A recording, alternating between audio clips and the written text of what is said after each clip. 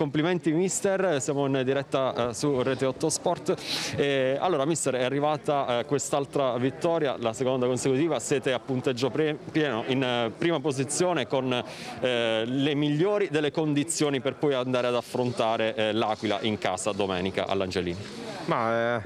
io l'ho detto alla vigilia, una partita che temevo, una partita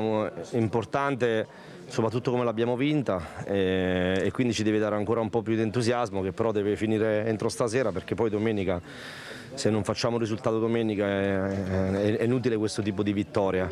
perché venirci adesso alla seconda di campionato qui a, a, Pescara sarà molto più complicato anche se conosco i loro ragazzi si impegneranno sempre però venirci alla fine del campionato potrebbe essere diverso che di venirci adesso perché loro volevano vincere perché vincendo si rimettevano in qualche maniera in corsa non vincendo, perdendo eh, non dico che sono fuori dai giochi ma quasi perché c'è un mini campionato però ecco, io ripeto, ribadisco che oggi è stata una bellissima impresa e non deve essere vanificata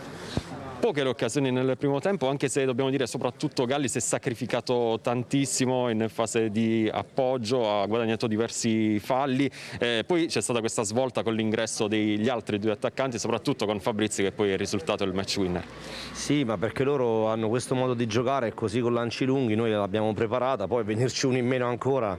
eh, eh, cercare di costruire è stato difficile, sono stati bravi difensori a gestire anche in alcuni momenti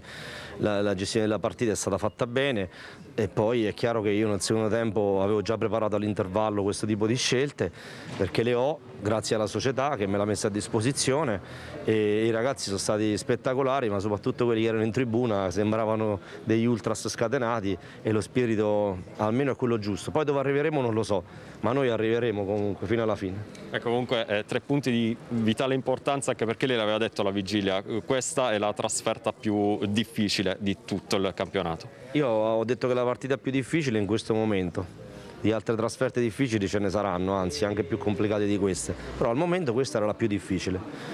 Non ho detto che è in assoluto la, partita, la, la trasferta più difficile. Le prossime trasferte saranno ancora più complicate, però adesso testa a domenica prossima, già da domani, con la giusta attenzione come abbiamo fatto questa settimana eh, ci mancherà un giocatore come Cristiano Verna ma se i presupposti sono quelli di oggi i ragazzi lo hanno ripagato alla grande. Lui li ha ringraziati prima nello spogliatoio